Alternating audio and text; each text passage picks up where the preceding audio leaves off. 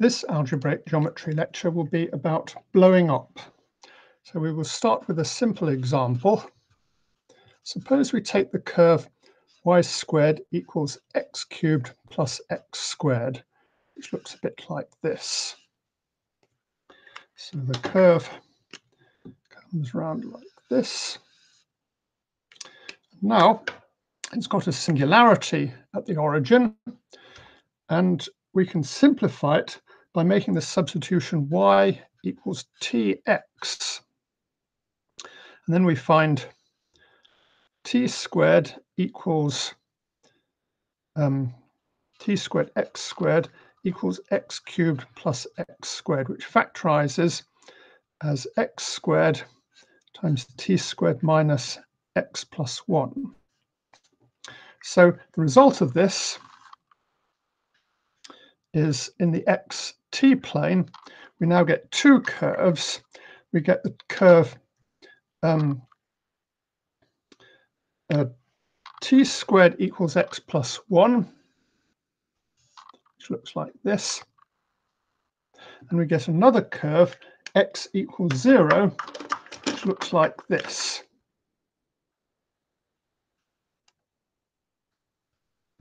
So our original blue curve has been transformed into a curve without singular points. And we instead we've picked up an extra curve here, or extra line. This line here is called the exceptional curve.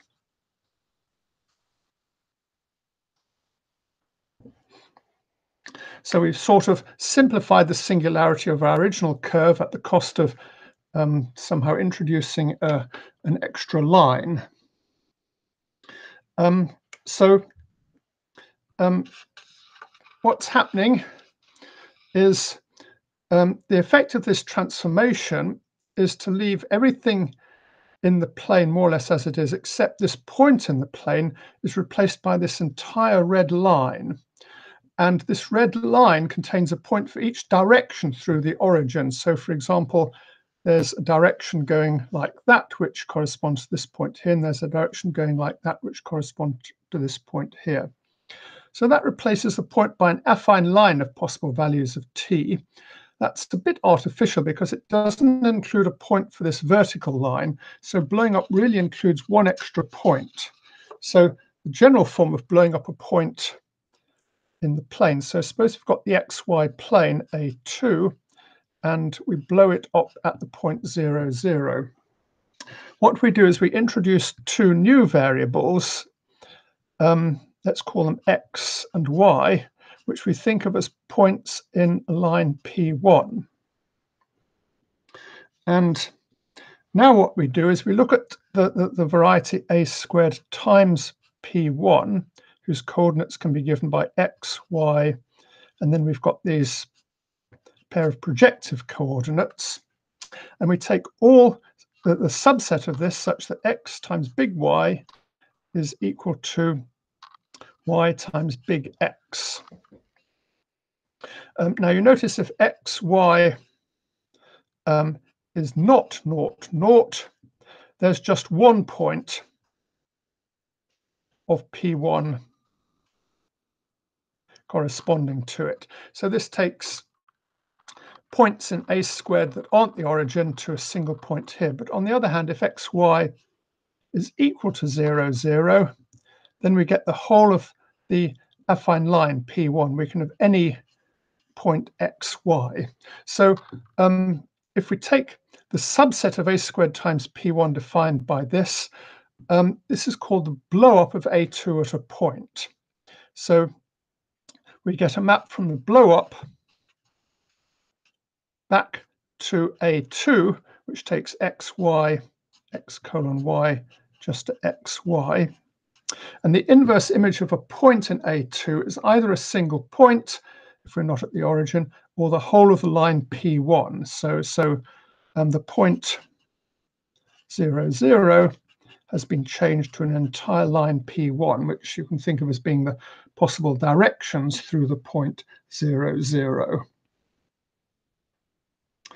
Um, and, and um, P1 is covered by two affine lines. We can either take x not equal 0, so we may as well take x equals 1, or y not equal 0, so y equals 1.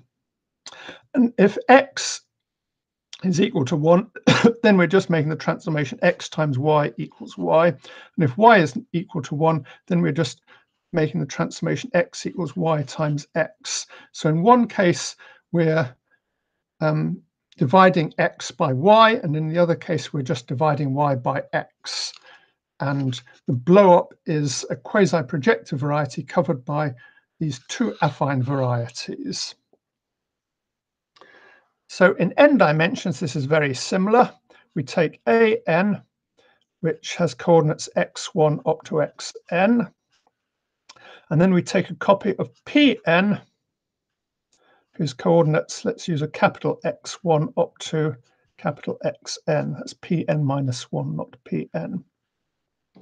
And then we look inside AN times Pn, and we take the set of all points such that xi times big Xj is equal to xj times big Xi for all i and j. And again, we see that the subvariety defined by all these points maps onto an, and the inverse image of x1 up to xn is a point if um, if it's not equal to 0, 0, 0, and it's equal to a copy of p to the n minus 1 if we're at the point 0, 0. So it's replaced the origin by an entire copy of n minus 1 dimensional projective space. So we've sort of blown up this point into an entire copy of projective space. Again, Pn is so Pn minus 1 is covered by affine subsets the form xi not equal to 0. So if we look at, say, x1 not equal 0, we may as well take x1 equals 1. And then the equations we have are x, sorry, xi times x1 is equal to um, x1 times xi. And since x1 is equal to 1, this is just xi equals x1 times xi. So we're just introducing a new variable, big Xi equals xi over x1. So the effects of blow up on uh, this subset is that we're essentially just dividing all, introducing new coordinates by dividing all the old coordinates by x1. And of course, you can do that with x1 replaced by something else. So let's have a few more examples of this. Um, what one major application of blowing up is to resolve singularities. So let's resolve the singularity of y squared equals x cubed. Okay, we haven't defined singularities yet. That comes um, in a few lectures, but fairly obvious what a singularity is. It's just somewhere where the variety goes wrong. So if we draw this curve here, it looks a bit like this. And it's got a, some sort of singular point, a cusp at the origin. And now we want to blow up at the origin. Well, you remember what blowing up consists of. We can divide y by x and we can divide x by i. So let's just divide y by x. We put y equals xt. And then we find we get the equation x squared t squared equals x cubed, which factors as x squared times t squared minus x. So this gives us the following picture. First of all, we've got this exceptional curve x equals 0 appearing. And we've also got the curve t squared equals x.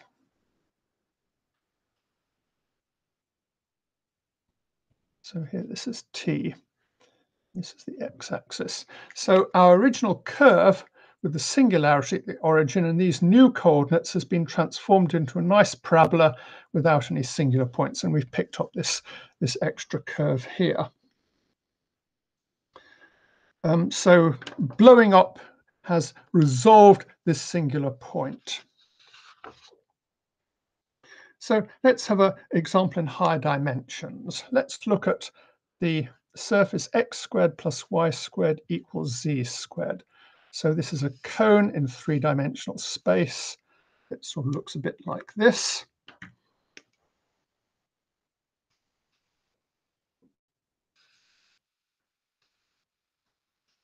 So it's just a cone.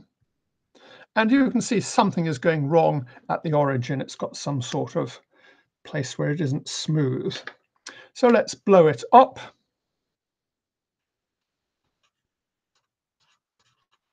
At naught, naught, naught. And there are three um, different affine pieces we get in the blow up because we could either divide we could either divide um, by one of these variables or one of the others. So um, um, let's divide by z rather than x and y. So we put y equals z times s and x equals z times t. So we're we're introducing new variables s colon t, which are going to um, um, um, lie in um, another confined space. Sorry, I shouldn't be using projective coordinates. Um, so we get z squared t squared plus um, z squared s squared equals z squared. So this factors as z squared times t squared plus s squared minus 1. And now if we draw things in the ZST plane, we find what we're getting is um, this blue cone has been transformed into a cylinder. So this is just the cylinder, um, t squared plus s squared minus 1 equals 0. So here we are looking at the st plane rather than the xy plane up here. And we've also got um, uh, the plane z equals naught, so we kind of get an extra red. Uh, the, the, the entire plane z equals naught is now an exceptional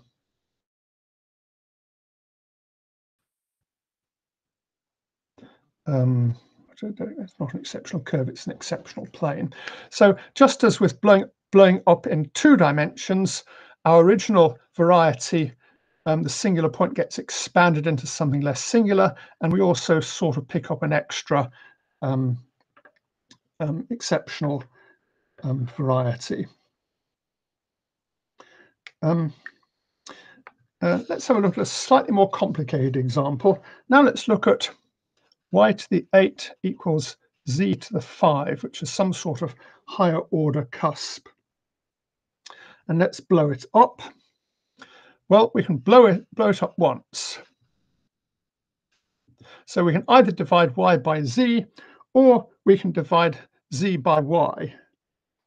Um, so if we divide y by z, we can put um, z equals y times t. And then our curve becomes z to the, sorry, um, y to the 5, t to the 5 equals y to the 8. So we get y to the 5, t to the 5 minus y cubed equals 0. And y equals naught is going to give us our exceptional curve. and t to the 5 minus y cubed still has a singularity. So we take this and we blow it up again. So how can we blow it up again? Well, we can put y equals t times s. So we find t cubed s cubed minus t to the 5 equals naught as uh, what happens if we blow up twice at a point, which obviously gives us t cubed times s squared minus t squared equals zero. Uh, that should be an s cubed. And t cubed is going to give us our exceptional curve. And we've got an s cubed minus t squared. Well, we've had that before. We can blow it up by putting t equal t equals s times u. And then we get s cubed equals s squared u squared. So we find s squared equals naught or s equals u squared. And now finally, we've managed to transform our curve into a curve without a singularity. So here it's just a parabola. So we had to blow it up three times. We started with this curve. If we blow it up once, we get this curve. Um, if we blow it up twice, we get this curve. Uh, sorry, uh, if we blow it up twice, we get, where's it gone? Sorry, I should have said this one here. And if we blow it up three times, we get this curve here. Um, so um, now let's look, have a look at a um, pinch point, x, y squared equals z squared. This is called the Whitney umbrella.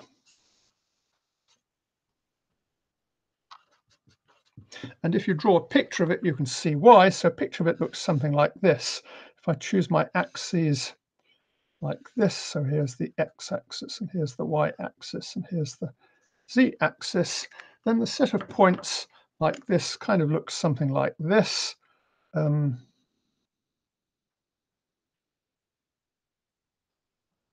um, there's a sort of parabola coming in here goes down like that.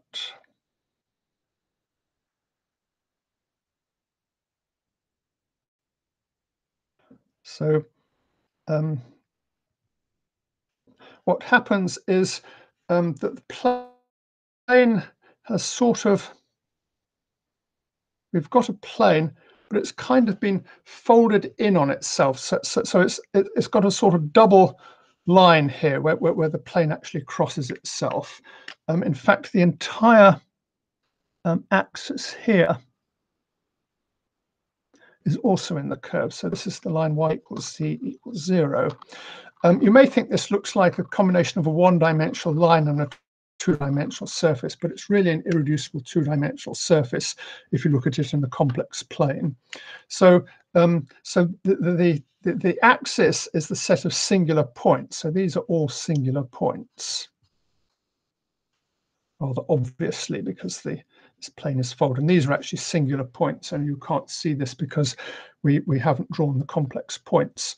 So you can think of this as being the handle of the umbrella, and this, this bit here is the umbrella that Whitney apparently used to keep the rain off him or something. Um, now, how what we want to do is to blow it up in order to make it better.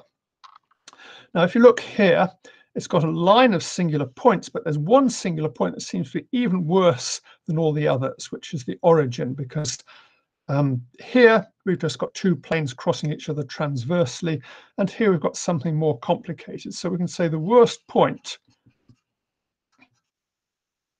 is zero, zero, zero. So we're going to blow it up. Well, let's blow it up. What we do is we introduce new variables. So we're going to look at, remember, we, we, we take a copy of affine space and then we take a copy of um, two-dimensional projective space. Um, um, let's call these coordinates x, y, z. And um, we choose one of these three coordinates to be zero to get one of the affine pieces covering it. So if we divide by x, for example, we put y equals xs, sorry, x, y, and z equals xz. So let's figure out what's going on. Well, then we get x times x squared y squared is equal to x squared z squared. And this simplifies as x squared times xy squared um, minus big Z squared. So we've transformed this singularity into an exceptional curve and another singularity. And now we sort of notice that this new singularity is in fact exactly the same as the singularity we started with, which is a little bit unfortunate. Um, so um, blowing up this singular point of the Whitney umbrella, the worst singular point, doesn't actually make it any better. We get the same singularity all over again. so what can we do to make this better? Well, I've been talking about blowing up along a point, but we can also blow along up along an entire line. So let's try blowing up along a line and see what happens. So we're going to take the Whitney singularity and blow it up along a line, whatever this means. So we take coordinates x, y, z. Sorry, these shouldn't be projective coordinates, they should be ordinary coordinates. So we take a cubed, and then instead of taking a copy of um, P2, we're just going to take a copy of P1, and I'll give this coordinates s colon t, because if I call them a subset of x and y and z, I'll get muddled up. And we're going to add in the conditions that y times t is equal to z times s. So what we're doing is we're replacing each point on this line by a projective line of, you can think of it as being all directions that are normal to this line in some sense. So let's see what happens. Well, we've got xy squared equals z squared. So if you blow up along this line, um, well, we should choose s or t to be equal to 1. Let's choose s equals 1. So we have y times t equals z. So we're putting z equals yt, and we get xy squared equals y squared t squared. And now this is a big improvement because we get y squared equals naught or x equals t squared. And x equals t squared is a nice non-singular surface. So blowing up along a point doesn't work, but a more complicated operation of blowing up along a line does get rid of all the singularities. Um, so in general, uh, we would like to get rid of all singularities of varieties by repeatedly blowing up along various subvarieties. And an obvious way of trying to do this is you say at each point you find the, the points with the worst possible singularity and they form a subvariety and you might try blowing up along that. And this sort of works, but you have to be really careful about how you define worst singularity. So you see in the Whitney umbrella, it looks at first sight as if this point is the worst singularity, but blowing up along that point doesn't really help at all. So somehow the the, the, the subvariety of worst singularities must be this entire line. So you have to define worst singular point in a very subtle way. So this point here is no worse than all the other points, even though it seems to be. Um, okay, so um, that gives some examples of blowing up along points and occasionally lines. And in the next lecture, we'll talk about a bit about blowing up along more complicated objects such as subvarieties or ideals or even sheaves of graded algebras.